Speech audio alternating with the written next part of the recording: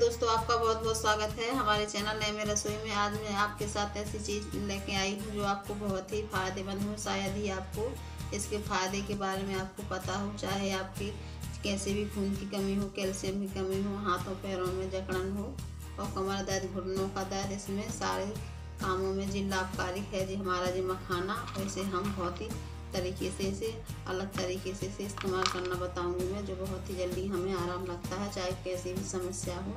इससे सारा छुटकारा पा सकते हैं आप। जी, मैंने एक गिलास दूध रख लिया है जो नॉर्मल दूध है। अब दूध को हम कर लेंगे गर्म।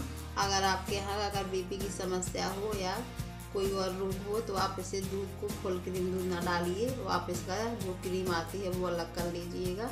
मैं दूध को कर लूँगी गर्म।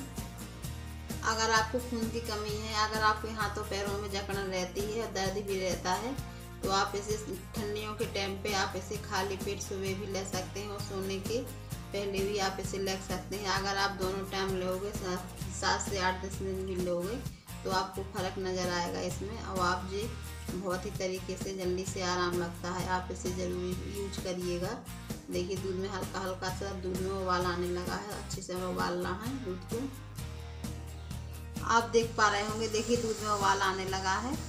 अब इस तरीके से हम चम्मच से इसे थोड़ा हल्का सा हम चला देंगे। और दूध देखिए उबलने लगा है। अब इसमें हम डाल देंगे मखाने। मखाने को हमें ना हमें इसे भूनना है, ना इसे हमें सेंकना है। मखाना हमारा ही इसी तरीके से ही बहुत ही फ़ायदेमंद करता है। आप इसी तरीके से बनाइएगा। अब हमें मखाने को पकाना है। चार से पाँच मिनट इसे हम सिलू आँच में अच्छे से पका लेंगे। ताकि जो मखाने का फ्लेवर है, अच्छे से दूध में आ जाए वो।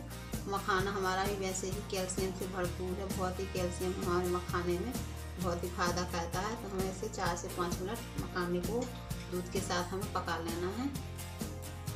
चार से पाँच मिनट देखिए, मैंने दूध को पका लिया है। दूध है जो हमारा, वो भी कम हो गया है। दूध हमारा हल्का हल्का देख सकते हैं आप, गाढ़ा भी होने लगा है।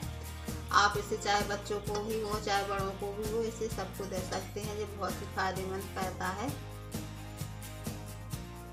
अब इसमें हम डालेंगे चीनी। चीनी आप अपने टेस्ट के अनुसार ही डाल रहे हैं। मैंने डेढ़ चम्मच चीनी डाल दी है। अब इसे हम लगातार इसे हमें दो मिनट अभी और हम पका लेंगे। डेढ़ से दो मिनट पका लेंगे, ताकि जो चीनी डाली हमने वो भी अच्छे से मेल्ट हो जाए। अगर आपका खून अगर साफ़ करना चाहते हैं आप अगर तो आप इसमें गुड़ भी आप इसे इस्तेमाल कर सकते हैं। पर मैंने चीनी डाली है।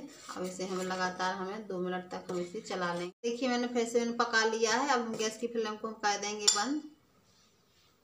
देखिए दूध को रख लिया है। देखिए हमारा गिलास में हमारा दूध, मखाने वाला दूध बन के तैयार हो गया है। ताकत ताकत का खजाना है। आप इसे ज़रूर यूज़ करिएगा।